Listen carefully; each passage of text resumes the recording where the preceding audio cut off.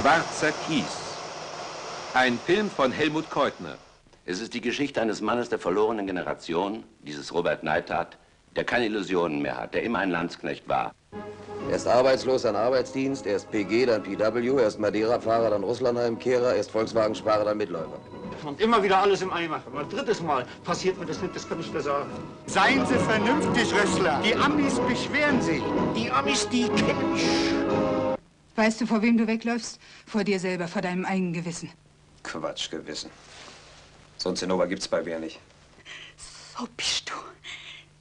Du Saukerle! Aus nichts machst du dir was? Hey Joe! Ah, Joe!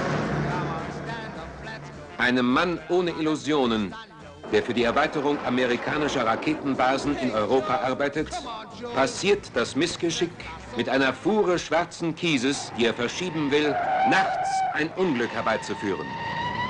Helmut Keutner führt uns in eine zwielichtige Welt. Das ist der Schuppen. Früher war es ein Kuhstall, jetzt ist es ein Saustall. Die moderne Technik verändert das Land und die Menschen. Warum sollten wir nicht da wieder anfangen, wo du aufgehört hast? Hauptsache, es stimmt noch und das haben wir hier schnell raus. Jeder ist auf der Jagd nach einem bisschen Glück. Lebenshunger herrscht und Angst. Ich will dich nicht verlieren, John. Und ich verliere dich, wenn ich hier bleiben muss. Ich hab so Angst. Herr Neidhardt, gestern sind zwei Menschen spurlos verschwunden.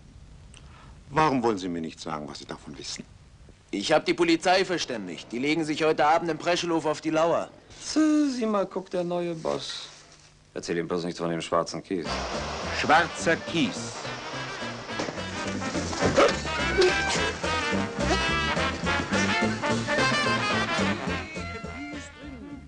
Sie haben was gefunden. Ja, Sie graben auf, wir müssen weg, sofort.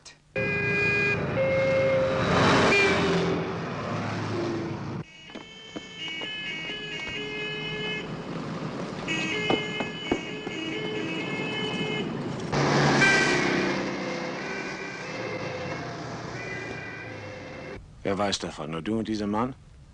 Ja? Dann gibt es diesen Unfall nicht. Weißt du, was du bist? Ein Mörder bist du.